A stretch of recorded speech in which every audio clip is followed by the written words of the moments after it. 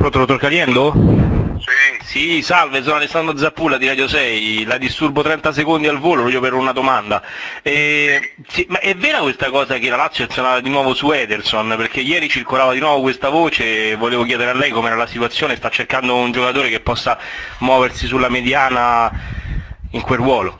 ma Lazio stiamo, stiamo parlando, eh, stiamo parlando, adesso vediamo un attimo questi giorni cosa succede. Ma lui è comunitario perché c'era questa questione del passaporto.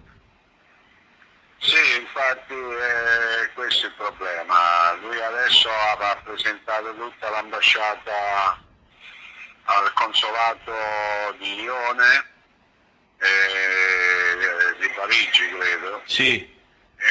Quindi si dovrebbe risolvere nel giro di 3-4 mesi. Ah, quindi parliamo comunque di una questione che potrebbe andare a gennaio, non ora?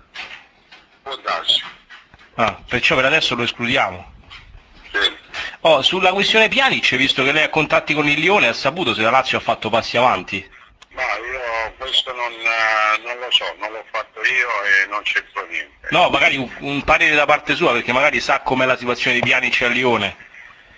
Beh, lì il Leone sta, um, diciamo che in questo momento stanno cercando di, di mantenere quanti più giocatori possibile, però se c'è qualcuno che deve partire vanno per prendere dei soldi. eh. Mm, quindi la vede improbabile la- l'arrivo di Pjanic alla Lazio?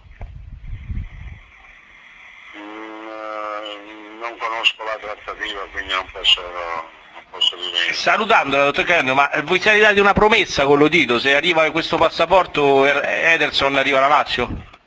Ma eh, io so che lo Tito sono tre anni che cerca di avere questo giocatore e, praticamente voi, lo conoscete lo Tito com'è, no? Sì. È testa dura e finché non è riuscito a fare una cosa eh, la mette tutta. Vediamo quello che succede perché il Lione ha chiesto a Ederson di allungare il contratto. Ederson ha preso tempo e quindi abbiamo preso tempo, vediamo un po' quello che succede. Quindi eh, con il Lione vi siete dati appuntamento a gennaio, se non arriva il passaporto si prolunga, altrimenti c'è la Lazio. Esatto.